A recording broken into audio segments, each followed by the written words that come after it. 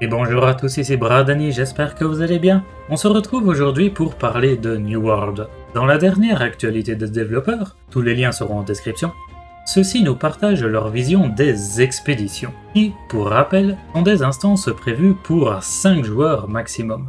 Une fois à l'intérieur de celle-ci, on devra faire face à de terribles dangers, mais on y découvrira également les origines et secrets des différentes factions ennemies.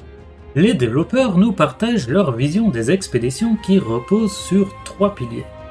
Premièrement, une expérience collective accessible. Même si la difficulté est prévue pour 5 joueurs, on pourra quand même entrer et terminer l'expédition à 3 ou 4. Il va falloir faire preuve d'esprit d'équipe et coopérer afin de surmonter les défis, résoudre les énigmes et combattre les boss. Deuxièmement, une nouvelle expérience de joueur contre environnement. Ce que l'on trouvera à l'intérieur des expéditions leur seront propres, c'est-à-dire que les butins, les mécanismes et les boss, eh bien, on ne les retrouvera pas ailleurs dans le monde. Ce sera totalement nouveau. Troisièmement, des expériences uniques et captivantes. Chaque expédition raconterait une histoire différente, et non seulement de voir également la difficulté être augmentée d'expédition en expédition, les mécanismes et les énigmes seront différentes. Par exemple, l'IA des boss et mini-boss est diversifiée et les butins sont propres à chaque expédition. C'est tout pour la vision des développeurs. Maintenant parlons un peu plus de ces expéditions. Le site de fouille Amrin.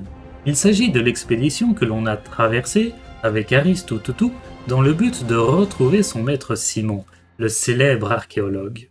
Accessible dès le niveau 25, le site des fouilles sera notre première expédition, avec une difficulté adaptée en conséquence. Comme il s'agit de la première, eh bien elle sera sûrement plus facile que les autres. Dans une courte vidéo postée sur Twitter, on a pu voir que Aristotutu était de niveau 25. Cette expédition est elle aussi de niveau 25, et dans celle-ci, Maître Simon perd la vie. Mais du coup, est-ce que nous ne pouvons pas devenir le nouveau maître de Aristotutu Pourra-t-on le gagner en récompense après avoir fini l'expédition? Va-t-il pouvoir nous servir de monture ou de familier? Eh bien, pour le savoir, il faut gagner une clé d'accès à l'alpha. Jardin de la Genèse. À l'intérieur de Bois Eden a été découvert le jardin où la terre enragée est née il est touché par un mystérieux dépérissement. Et c'est à nous, joueurs, d'y mettre un terme et de restaurer le jardin.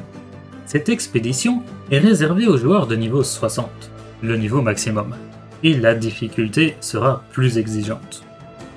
On termine par un message des développeurs. Nous sommes ravis d'avoir mis à disposition les expéditions Site de Fouillamrine et Jardin de la Genèse dans l'alpha. Les données de l'alpha ainsi que les retours des testeurs seront étudiés de près. Et nous ajusterons les systèmes à mesure que nous ajusterons d'autres expéditions à New World.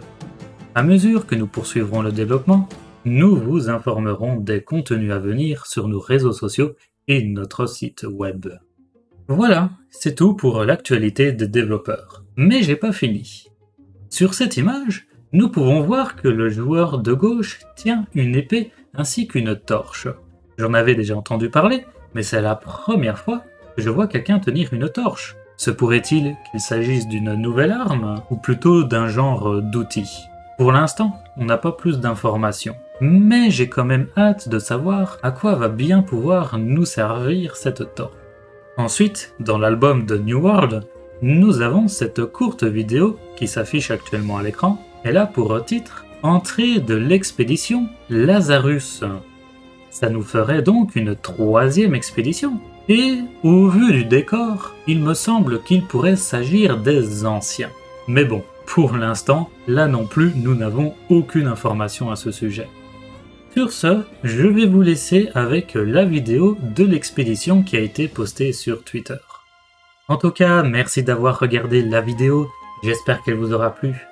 C'était Bradani, je vous dis à la prochaine, salut